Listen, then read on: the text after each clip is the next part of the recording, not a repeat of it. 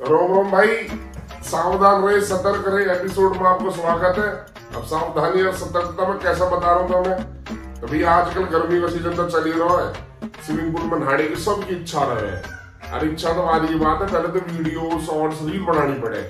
वहाँ के बाद ही पता लगे कि तुम स्विमिंग पूल में ढाका है। क्योंकि वहाँ के बाद पता लगेगी पब्लिक है। तो भैया, हमने भी कर लिया प्लान एतवार को चले गए हम भी। अब एतवार को समस्या क्या हुई?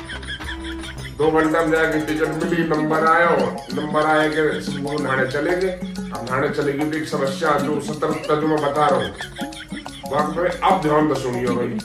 तो भैया, अगर कोई भी भाई प्लान कर रहा हो ना, जाए अगर स्विमिंग पूल में नहाने को रील बनाने को।